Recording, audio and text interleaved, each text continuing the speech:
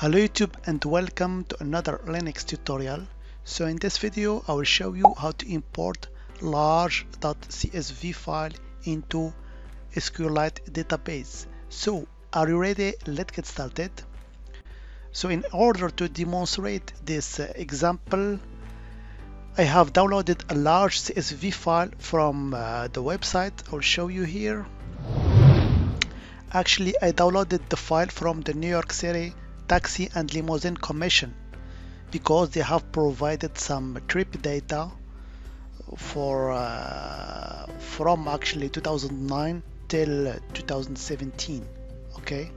So here you can see some trip data for yellow taxi green taxi and FH V taxis also. So me I have chosen this file here. I have downloaded as you can see in my desktop. It's almost 800 megabytes. Okay so first of all let's actually try to open this file with up with the LibreOffice and see the fields that it contains okay? So I will try to open it using LibreOffice as you can see here. So we know it's a comma separated fields file as you can see an example of the data here. So I will hit OK in order to import it. So of course it will take some times depending on your machine and how much uh, memory that you have actually. So as you can see here in this uh, screenshot I got this warning. The data could not be loaded completely because the maximum number of rows per sheet was exceeded. This is normal because it's such a huge file.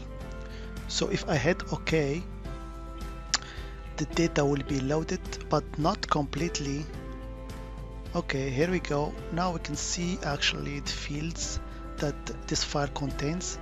So here we have vendor ID. Actually the vendor ID describes the company that sells uh, taximeters. We have the pickup date and time the drop off date and time passenger count okay some other data here. For example tip amount and the mileage also. So if we go to the bottom to see how many lines we get here okay it's over 1 million lines that we got here so it's such a huge file. It's a good example for our actual exercise.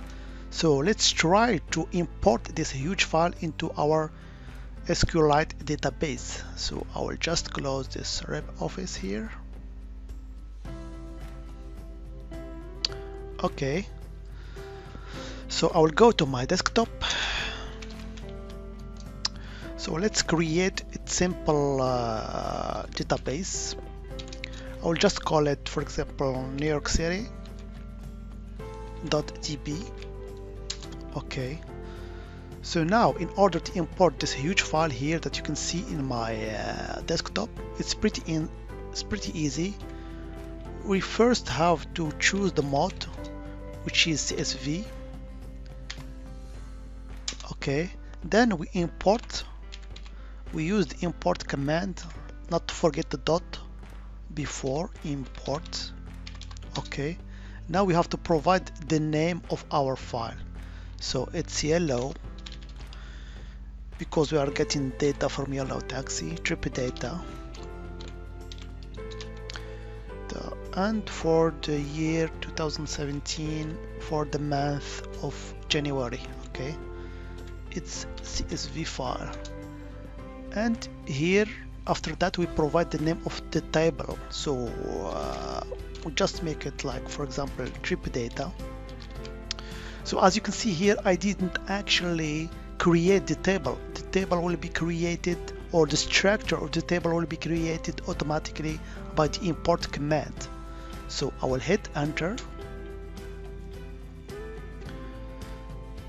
So of course it will take some time you see here on my desktop it has created the New York City database and a journal has been created. So it's such a huge file so it will actually take some time in order to uh, fill in the table. So we will wait for that. Okay now it's finished. It's almost took uh, three minutes in order to import the data. So let's see actually if the table has been created so I'll execute the command tables. And indeed the trip data table has been created. Let's see the schema of this table. So I'll just type schema trip data. And here you see all the fields that actually inside my table. And remember I didn't create it it was created automatically by the import command. Okay. So now let's display some uh, lines or record from this table. So I will use simple select command select all from trip data. So I will limit that to just uh, 10 lines because it's such a huge file. Here we go. Now you can see actually 10 records from the file. Let's count how many lines does this table contains. So I'll do select also select count. It will take some time of course because it has so many records from trip data.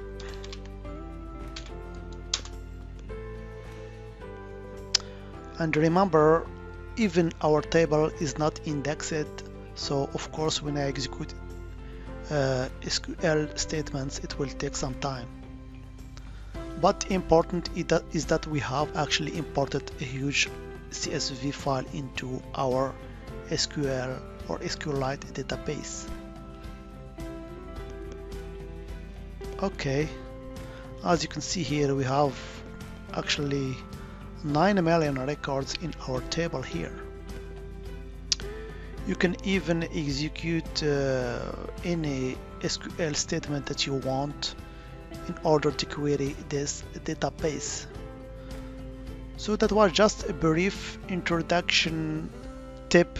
If you have such a big CSV file and you want to import it to your SQLite database. As always, I hope it has been informative for you and I want to thank you for viewing.